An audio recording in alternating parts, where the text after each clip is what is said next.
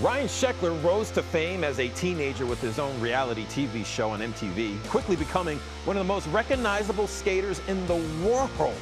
Now Sheckler is older, wiser, and a dad. He's also playing the role of coach and mentor at Woodward West and is part of the Olympic skateboarding broadcast team in Paris.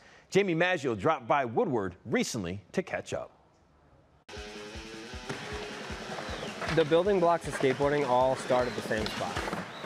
And that's why I come to Woodward. That's why I enjoy being a coach here and being a mentor and a visiting pro to share that message. Like we all start at the same spot. We all start right here with both our feet on the board, wondering what's next.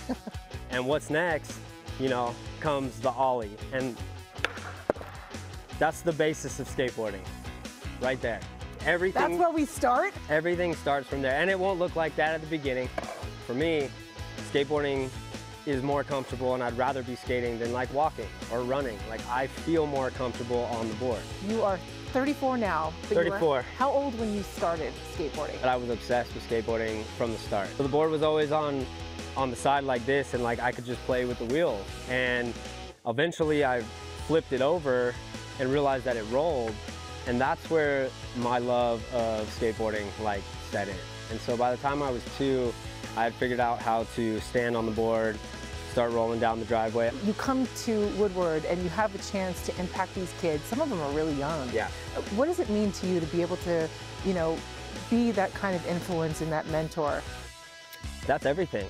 That's why we do it, you know? That's why we do it to eventually be able to share our knowledge. I think that's human nature and its in its finest about four years ago got the opportunity to have like a director of skateboard program role at Woodward and I take it very serious.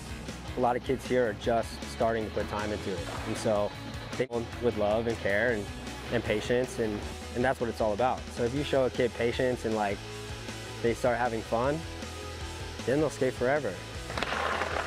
I want people to enjoy this sport and like be nice to each other. Like skateboarding is one big family and we need to keep it that way. You're going to be covering um, Paris 2024. Yeah. Uh, very cool that skateboarding is an Olympic sport that yeah. started uh, Tokyo 2020.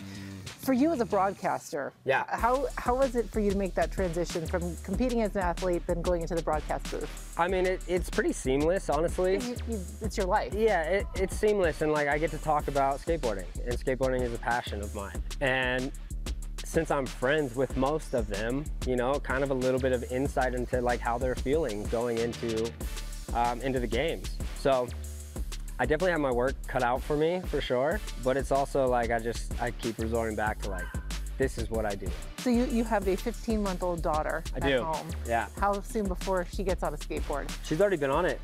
she figured out how to like hold the front and put one knee on the board and then push. Then at 14 months, she she grabbed my hand and like pulled me to the board and stood on it and I pushed her and she just held her balance and was like rolling, standing up on the board. That's all I'm gonna do with my daughters. Just support whatever they wanna do. That's very Try cool. to stay calm when they get hurt. That was the biggest thing my parents ever did for me. Stay I would, calm? Yeah, I would break a bone, or my brothers would break a bone, and they stayed calm. They never freaked out. So I was like, all right, cool. Getting hurt sucks, but I'll come back. And I've had that mentality my whole career.